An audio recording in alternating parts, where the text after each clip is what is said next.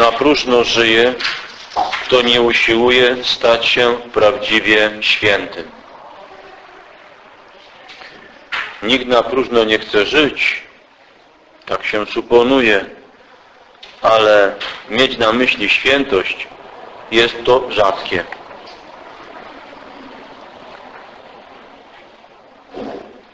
Świętość bowiem jest pojęciem jaskrawym, ostrym, jednoznacznym i bardzo nieatrakcyjnym z punktu widzenia duchowości świata.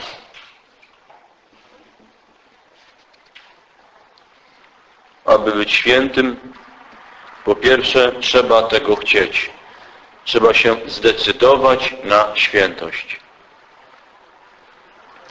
Święty Maksymilian Kolbe mówił o sobie, ja muszę być świętym. Świętym, czyli zbawionym, spełnionym. Jeżeli człowiek sobie nie postawi jaskrawo celu, ja muszę być świętym, no to nie będzie świętym. I będzie tragedia. Złe wyobrażenie o świętości powoduje, iż człowiek sobie je z łatwością wyeliminowuje ze swego myślenia. Świętość nie jest efektem nominacji na świętego.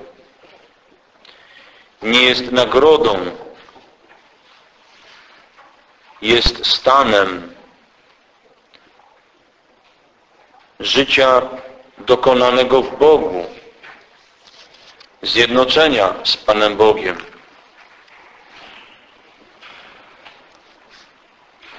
Dlatego po pierwsze trzeba chcieć być świętym.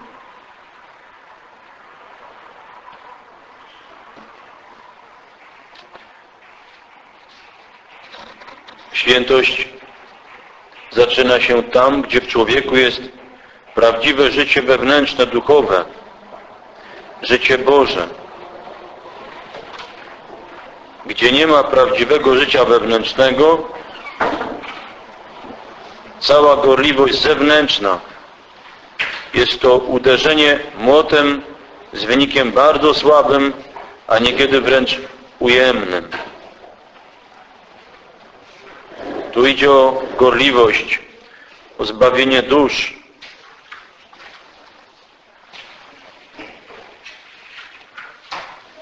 Dlatego świętość to jest dzieło Boga w człowieku, jest to zwycięstwo łaski Bożej w człowieku.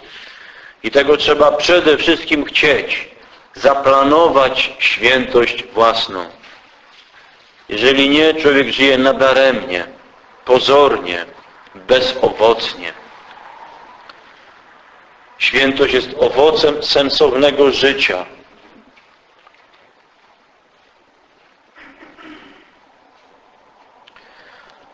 Co więc czynić, aby być doskonałym, czyli świętym? Musisz chcieć zaprzeć się siebie. To jest decydujący punkt. Zaprzeć się siebie.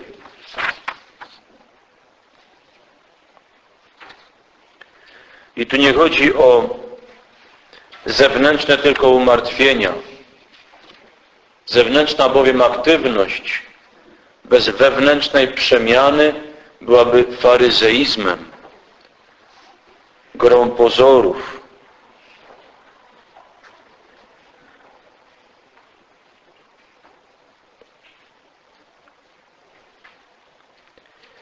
Są potrzebne modlitwa i post i jałmużna.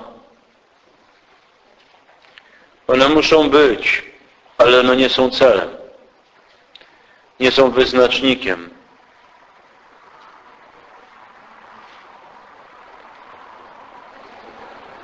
Są pomocą, ale nie są treścią. Są środkiem, ale nie celem.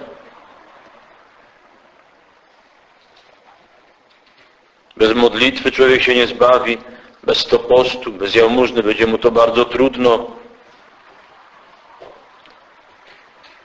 Świętość jednak jest jednoznacznym punktem dojścia w zmaganiach życia.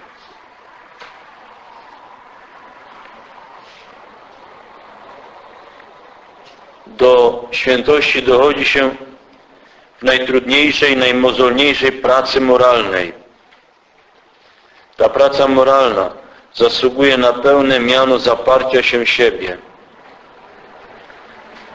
Ciężka bowiem jest praca fizyczna, bardzo ciężka. Ale umysłowa praca jest niekiedy jeszcze trudniejsza, jeszcze cięższa. A najcięższa jest praca moralna, czyli praca zaparcia się siebie, umierania sobie.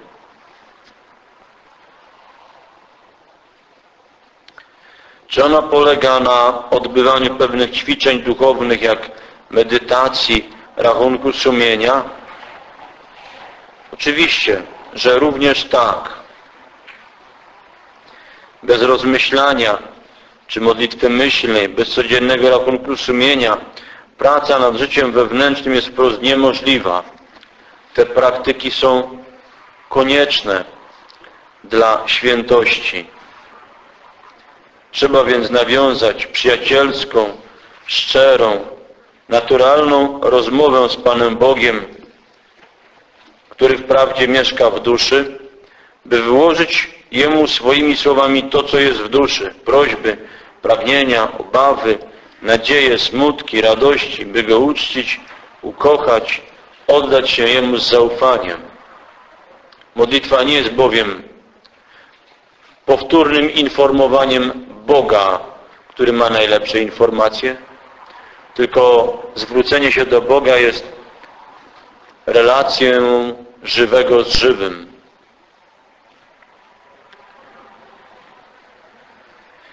Modlitwa nie jest tylko wyrażeniem prośby. Modlitwa jest stanięciem przed Bogiem do dyspozycji.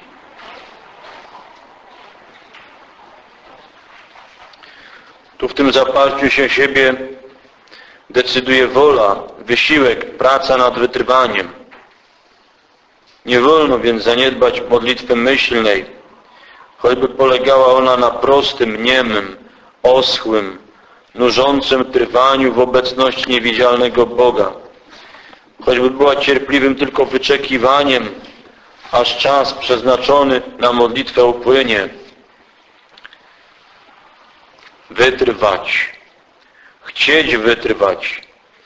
Takie jest zasadnicze hasło praktyk zewnętrznych życia duchowego, zwłaszcza modlitwy myślnej i rachunku sumienia. Tu jest duży trud wytrwać.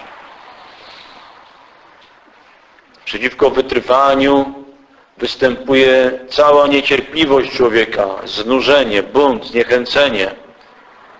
Trzeba się z tym zmierzyć.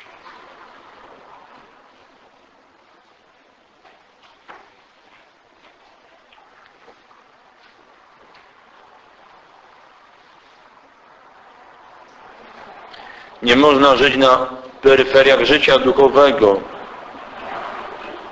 Gdy człowiek nie chce być w centrum przed Bogiem, jego życie duchowe będzie peryferyjne.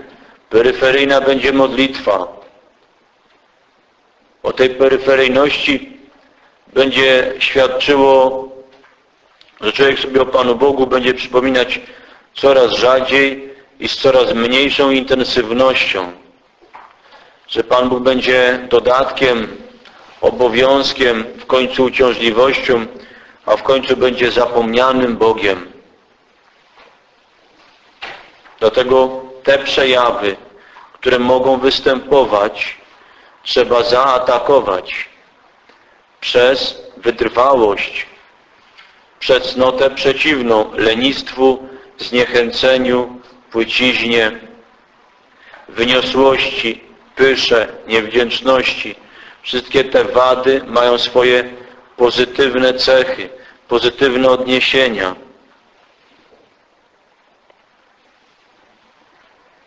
Chodzi o istotną pracę wewnętrzną, na której polega doskonałość i świętość. To jest praca wybitnie wewnętrzna. Ktokolwiek zabiera się do pracy wewnętrznej, musi żywić najgłębsze przekonanie, że w duszy jego żyje bożyszcze w postaci własnego egoistycznego ja. Człowiek krąży wokół własnego ja. Spełnia wszystkie jego zachcianki. Zaspokaja swoje ja. Karmi swoje ja. Ono jest siłą napędu, celem. Ono jest sędzią, wymierzającym człowiekowi razy, gdyby było niezaspokojone, rozdrażnione ja domaga się swojego spełnienia.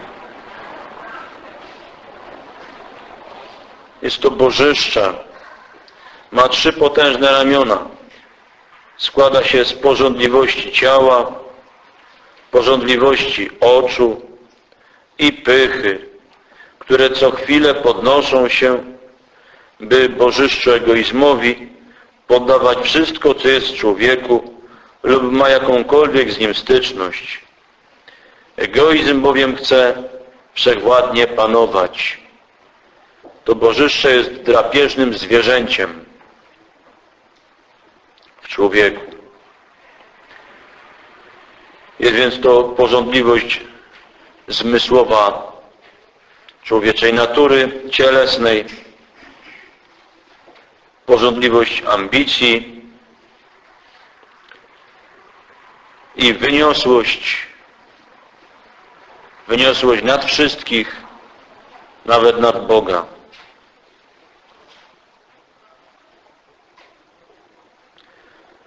I ten egoizm o tych trzech ramionach ustawicznie się ujawnia. Jest w nim jakaś ukryta moc. Ten egoizm bierze człowieka na służbę i czyni człowieka niewolnika.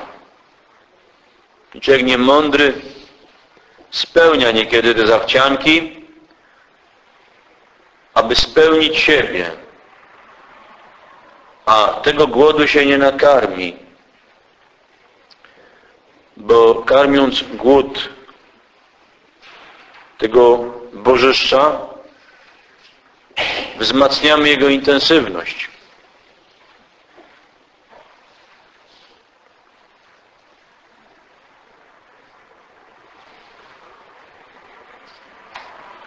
Dlatego trzeba reagować na te grzeszne podniety. Reagować zaraz, stanowczo, ilekroć odezwie się egoistyczne ja w jakiejkolwiek bądź formie.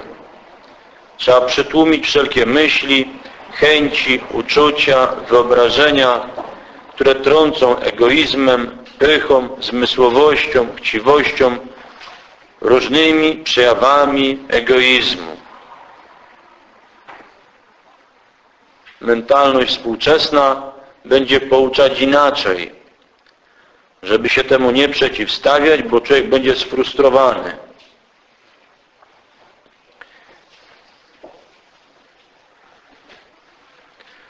Co nie dość szlachetne i nie jest zgodne z wolą Bożą, co zbyt naturalne i płytkie, z braku czystej pobudki, od razu trzeba prostować, oczyszczać i podnosić przez miłości pełne oddanie się.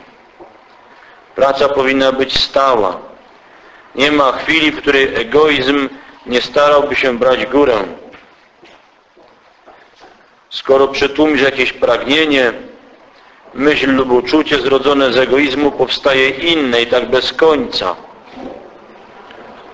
Człowiek, który chce zaspokajać własne pragnienia, a nie kieruje się aktami woli służącej Panu Bogu, czyli nie kieruje się aktami wiary, nie chce być sługą łaski Bożej, sługą powinności, taki człowiek staje się niewolnikiem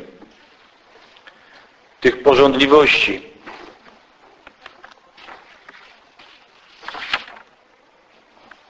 Trzeba więc działać przeciwko zakusom i zachciankom egoistycznej natury.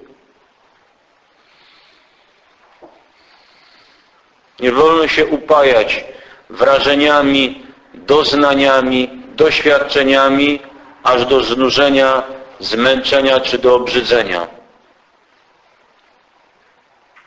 Trzeba się ograniczać, mieć umiar w oglądaniu, w słuchaniu, w spożywaniu, w uczestniczeniu. Musi być umiar. Nie wolno nasycać się po brzegi w czymkolwiek, nie tylko w jedzeniu.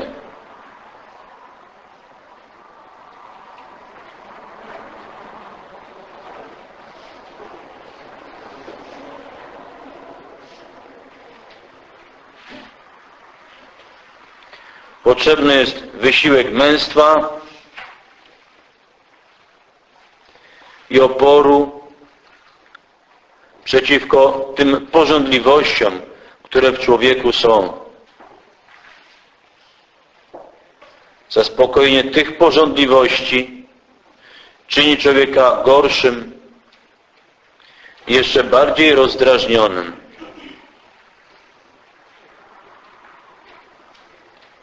W pewnym momencie człowiek już sam nie wie, czego chce. Ma wszystko i nic go nie zadowala. Są tacy ludzie, którzy tych szczytów nieprawości dosięgnęli.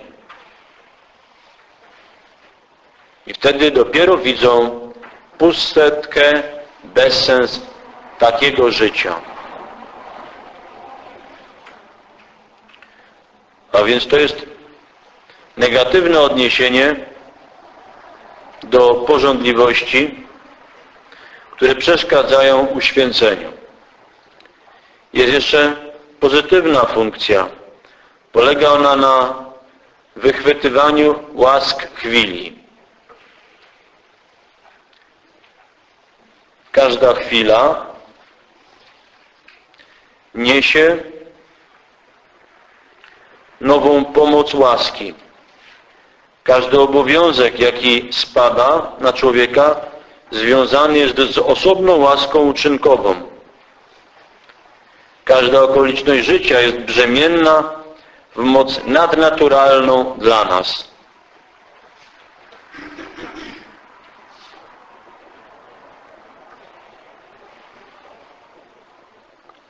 Dobre myśli i uczucia, które powstają w człowieku bez jego współdziałania, zapraszają do cnoty. Sztachetne poruszenia i porywy, jakich każdy doświadcza w sobie, to wszystko są to namacalne skutki działania łask uczynkowych, które oświecają i do dobrego pobudzają. Każda chwila niesie łaskę. Każda łaska przynosi sprawność dla człowieka i zadanie, do, yy, i zadanie, aby przy pomocy tej sprawności owo zadanie wykonać. To jest ta chwilowa szansa, ta chwi to chwilowe uczestnictwo w dziele Bożym. A więc człowiek, który się uświęca, nie uświęca się przez to, że wykonuje coś bohaterskiego, co sobie nałożył i wymyślił, lecz uświęca się ten, kto by najdrobniejszą rzecz wykonywał, ale dla Boga i z woli Bożej. Święci bowiem to nie są herosi czynów epokowych, tylko to są ci, którzy byli wierni Panu Bogu w sprawach nawet najdrobniejszych. Świętość bowiem jest przyjęciem łaski Bożej i pozwoleniem Panu Bogu na inicjatywę przeobrażającą grzesznika. Jeśli człowiek w nurcie swego życia ma chęć pełnienia woli Bożej i tą wolę pełni, uczestniczy w dobru Bożym i zyskuje podobieństwo do Pana Boga. Jednoczy się z Panem Bogiem. Doznaje przesycenia, przeniknięcia Panem Bogiem.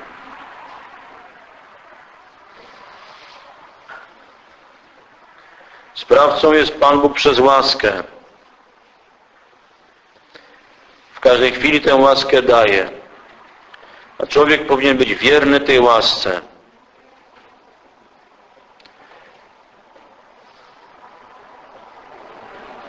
Trzeba mieć tę umiejętność Chrystusową poddawania się każdej chwili wpływowi łaski Bożej.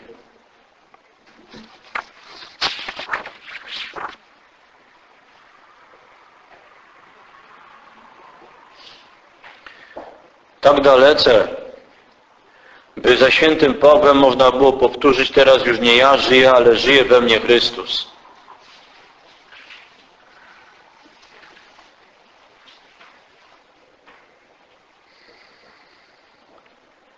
Żadna praktyka życia duchowego nie wstępuje tak głęboko do duszy i dlatego żadna nie przerabia człowieka tak całkowicie, jak wymieniona praca wewnętrzna, którego, która polega na zapieraniu się siebie i na jednoczeniu się z Chrystusem.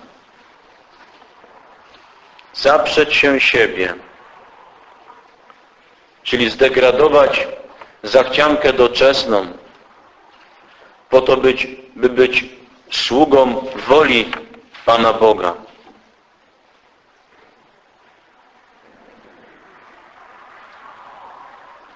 Tu idzie o zabicie egoizmu, o oczyszczenie własnego wnętrza z egoistycznego ja, o poddanie się Bożej łasce bez zastrzeżeń każdej chwili. Człowiek musi dobrowolnie obumierać wszystkiemu, co nie jest Bogiem wszystkiemu, co nie jest Bogiem. I to jest takie trudne.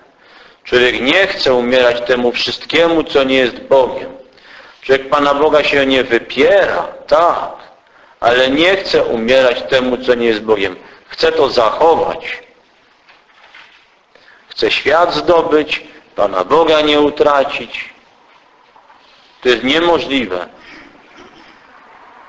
Coś musi przegrać. Nie da się pogodzić miłości do Boga z miłością tego świata. Nie ma możliwości takiego rozdwojenia w człowieku. Służy się jednemu Panu. Jedna miłość w człowieku jest najwyższa.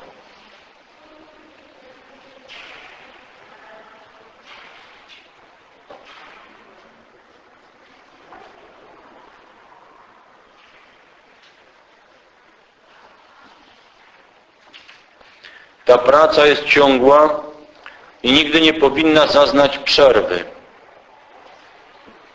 Nie jest to jednak udręka na kształt niewolnika z galerów, który wiosłuje, bo musi, lecz jest to współdziałanie z ukochanym, którego się wybrało. I dlatego ukochanego Człowiek będzie pozwalał, aby w człowieku obumierały namiętności, zachcianki, ambicyjki. Dla ukochanego Pana Boga człowiek zakochany w Nim poświęci wszystko, co nie jest Bogiem. Taka jest droga do świętości.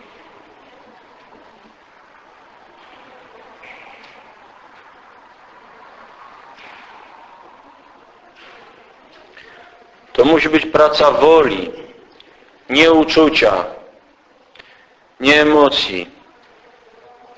Tu konieczny jest spokój, niewyczerpana cierpliwość, żelazne męstwo.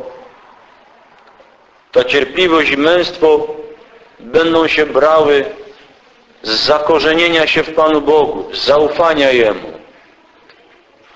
One już będą pierwszymi owocami posiewu na glebie Pana Boga. Kto Bogu chce służyć, otrzyma i cierpliwość, i męstwo, i mądrość.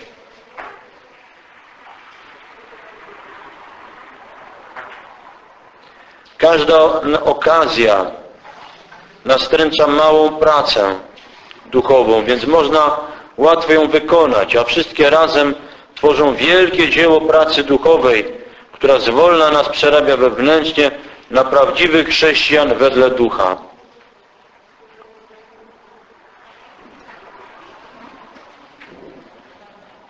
Oczywiście, że ten tylko potrafi wykonać to dzieło w sobie, kto żyje z zastanowieniem, kto zdaje sobie sprawę z tego, co w nim się dzieje i co sam czyni. Żeby to zastanowienie w sobie mieć, nie wolno być namiętnym odbiorcą wrażeń zewnętrznych. Dlatego nie wolno karmić siebie niekończącą się akustyką, oglądactwem, komentowaniem, spożywaniem, wąchaniem i zaspokojeniem wszystkich zmysłów. Bo wtedy człowiek staje się receptorem tych wrażeń i tam jego uwaga się już wyczerpuje. Zastanowienie jest tam, gdzie człowiek jest wolnego ducha przed Bogiem, gdzie jest wypróżniony ze świata, gdzie jest na tyle wolny, aby być odważnym.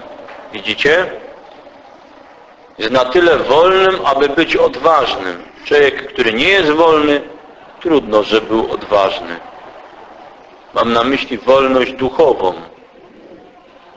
Kajdany na rękach to jeszcze nie niewola.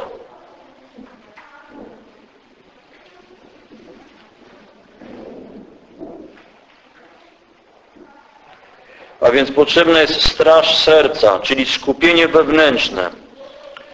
Człowiek jest zdolny zachować wewnętrzne skupienie, by być sobą, nawet wśród najbardziej pochłaniających zajęć, byle tylko sobie zadał odpowiednią pracę wewnętrzną. To jest niebywałe, a jednak jest to możliwe.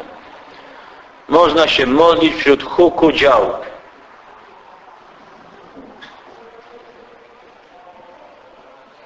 Można być w relacji z Panem Bogiem w bardzo niesprzyjających okolicznościach zewnętrznych. Jeśli tenże ukochany Pan Bóg będzie z przejęciem, z przekonaniem wybrany i postawiony na jaskrawo nadrzędne miejsce w życiu człowieka, można powiedzieć jedyne i całkowite miejsce. Poza tym, że Bogiem wszystko inne to obrzeża nie mające zasadniczego znaczenia.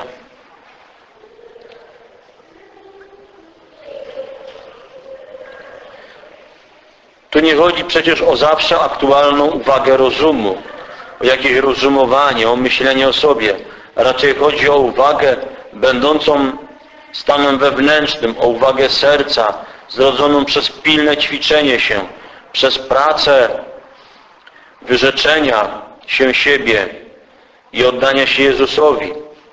Przy dobrej woli można zdobyć taki stan czujności wewnętrznej, gdzie wśród prac i zajęć zostajemy w żywej obecności Boga, którego nie widzimy, ale o którym jesteśmy przez głęboką wiarę przekonani, że jest w nas i my w Nim. I tylko dlatego to wewnętrzne skupienie nie krępuje, nie tamuje swobody, lecz przeciwnie, jest źródłem prawdziwej swobody i wolności duchowej.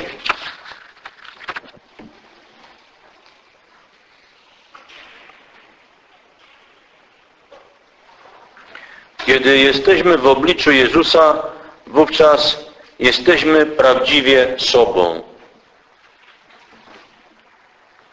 Można powiedzieć, że człowiek jest istotą niekompletną tak długo, aż się wypełni Panem Bogiem. Dopiero wtedy jest człowiek sobą. A człowiek, który jest sobą, to jest człowiek święty.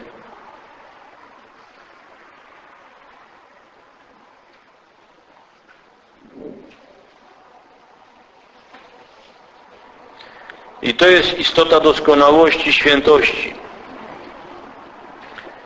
Od strony praktycznej polega ona na pracy wewnętrznej.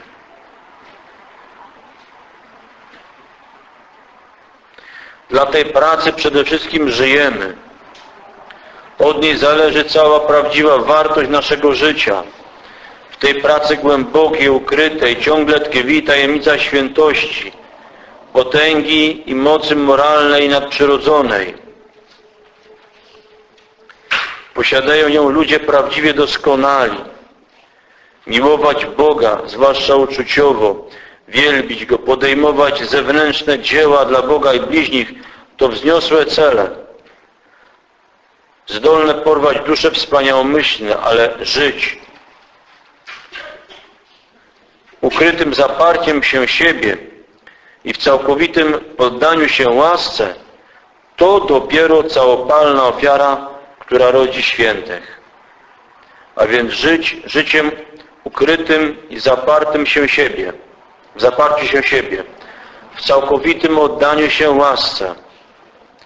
Czyli tu człowiek nie rozporządza sobą, jest do dyspozycji. Według słów mów Panie, bo sługa Twój słucha.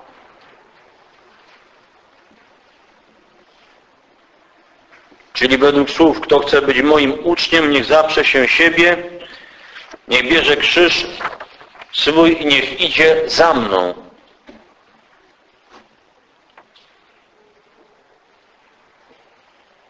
Jest więc to życie ukrzyżowane, służebne, niepozbawione wolności, mężne, przeniknięte radością, cechuje się długomyślnością. Widać w tym życiu jaskrawy sens. Człowiek tak żyjący nie potrafi inaczej i inaczej nie chce. Raczej spadnięcie z tego poziomu i sposobu życia byłoby dla niego tragedią. Dla świętego tragedią jest grzech, który by się jemu zdarzył, niż heroizm i męczeństwo, w którym musi uczestniczyć.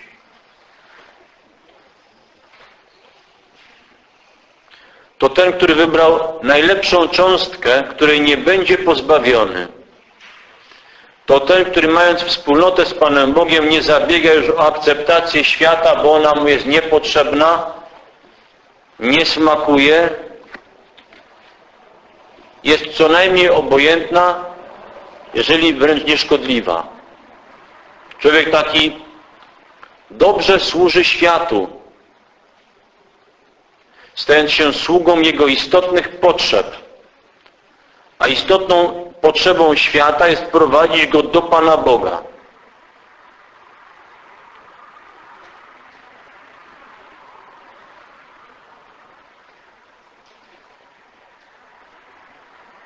To taki człowiek, który rozumie Pana Boga i chętnie uczestniczy w tej przygodzie bycia z Panem Bogiem. Świat patrząc na takiego trochę życzliwie będzie mu współczuł. A on, taki uświęcający się, spoglądając na świat, będzie widział, że nic nie stracił, wybrał lepszą cząstkę, najlepszą, jedyną. Uświęcający się to ten, który żyje sensownie, który już nie musi szukać prawdy, bo ją ma, nie czeka na miłość, bo już sam kocha, sama przynależność do Pana Boga jest Jemu wystarczająca. Nie oczekuje dla siebie niczego więcej, a że Pan Bóg w hojności nie da się prześcignąć, no to tak się dzieje. Ale miłość w stosunku do Pana Boga jest czysta i nie czeka na odpłatę. Jest sama w sobie wartością. Można powiedzieć, zakochany w Bogu, w tym zakochaniu się ma już odpłatę i nagrodę.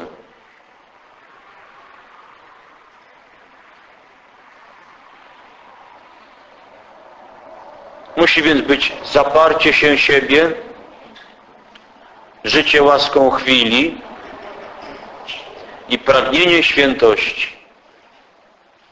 Jaskrawo, wyraziście trzeba sobie to powiedzieć. Można tego nie głosić światu, bo świat tego nie zrozumie, ale sobie trzeba to powiedzieć. Jeżeli człowiek sobie nie powie jaskrawo, ja muszę być święty, to taki człowiek będzie niewolnikiem kompromisów. Będzie na tyle współpracujący z Panem Bogiem, na ile można. Ale świata z rąk do końca nie wypuści. Znaczy święci, święci wypuścili rąk, y, świat z rąk? Nie. Święci stali się najmądrzejszymi sługami na tym świecie. Bo oni światu nieśli istotę, czyli Boga. Czyli to, czego naprawdę świat potrzebuje. Dlatego trzeba medytować. Potrzebna jest modlitwa myślna jako fundament dnia. Potrzebny jest rachunek sumienia, by się w Bogu rozsmakować, przed Nim się zorientować, zakwestionować siebie i pragnąć łaski. Bez prawdy o własnym grzechu człowiek się nie uświęci. Dlatego Pierwszym artykułem pierwszej potrzeby dla tego, który chce być świętym, jest prawda o własnej nędzy i prawda o absolutnie niezbywalnej konieczności Pana Boga. Bez prawdy tej nie ma życia duchowego.